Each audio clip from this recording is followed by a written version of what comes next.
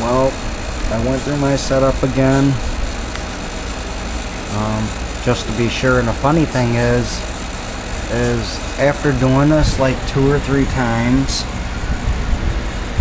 it's simple. I didn't even have to watch the Mr. Mel videos at all. Like, I remembered everything. And I'm not really all that good with computers and setup and all that stuff. But this was like a piece of cake now. I think I, just for the heck of it, I did set up like, um, four times, three times, four times I think. I can't remember, three or four times. But anyways, alright, um, you can see here, I got everything going right now. My out of focus. I'm positive collective, negative, right rudder, left rudder.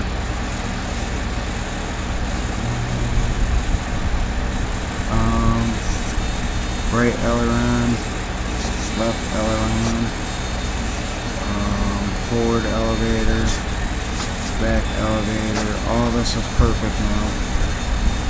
Everything's moving right. Um, I'm pretty sure this is okay now here. Oops, sorry. But um,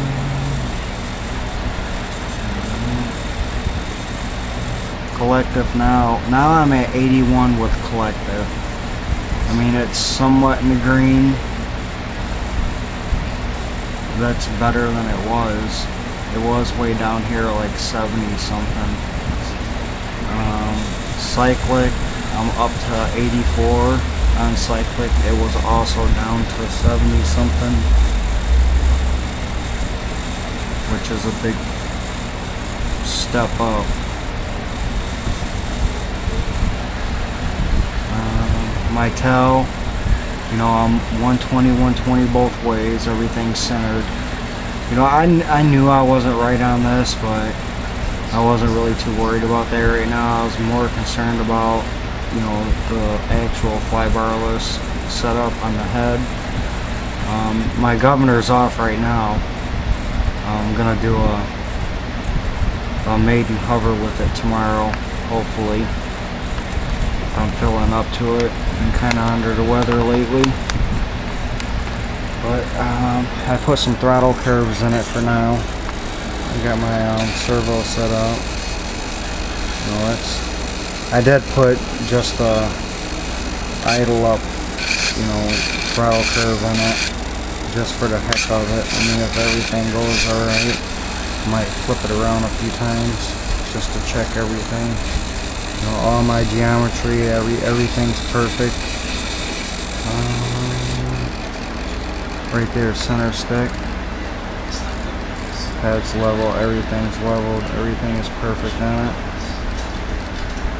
Oh and if I tilt it forward or here.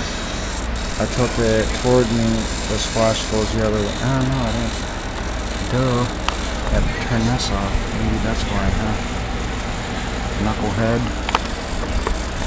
alright let me try this again just to show all my stuff is working right on this. If I tilt it forward, swash goes backwards. If I tilt it backwards, swash goes forward. Uh, tilt it toward me, swash pushes away. Tilt it the other way, swash goes that comes towards me. So I did really good with the setup and everything. Yeah, I'm like stuttering and everything somewhat right now. It's like uh, 12.30 at night. I'm kind of tired. So I'm going to jump off here, jump on my sim for a little bit. And see how this goes tomorrow. Pretty happy so far. Got my new edge blades on it. Got another set over there. I might just throw some old blades on it just in case. Not saying I don't trust my setups, but this is the first time I've ever done the V-bar. So, we will see.